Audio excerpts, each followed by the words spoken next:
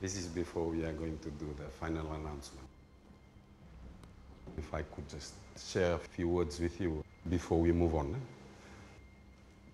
I teamed up with Robert uh, several years ago because of the crisis that we are facing at the Ministry of Health. I felt that we are at the bottom of a cliff and we are at the receiving end for a lot of these unhealthy habits.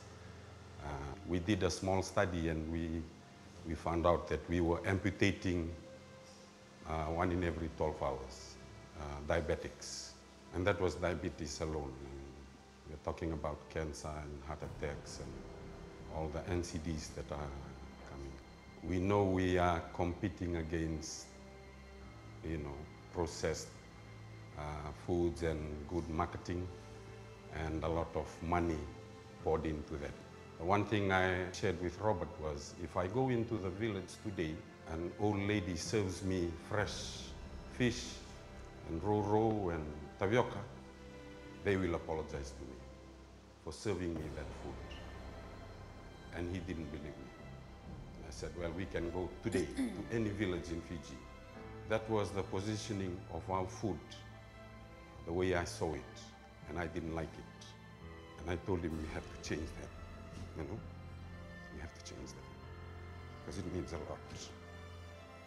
We shouldn't be looking down at our food. That's why I'm part of this revolution.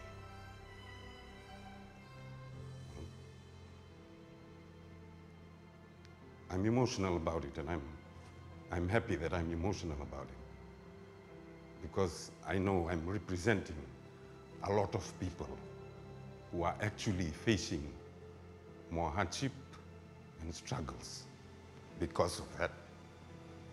And your, your participation means the world. You standing up and coming to this show. It's a competition, yes, it is. But it's much more than that we are trying to elevate ourselves, our culture, what we are good at, superfoods. This changes a lot in the pl platform of health for our country. And I do not know what, what's going to happen next after this and go to the finals.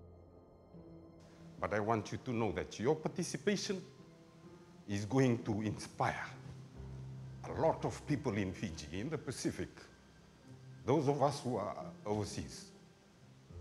And I want you to know that. Don't take it lightly. And if you come out of here and you don't make it to the finals, know that you have contributed immensely to the health of this nation just by taking part. I wanted to share that with you because I feel it's the voice of those people that are lying in our hospitals, struggling with lack of resources. And you know very well the struggles because you come from that, you represent that too. And irrespective of what happens today, I hope, I hope that you will take that with you. Thank you.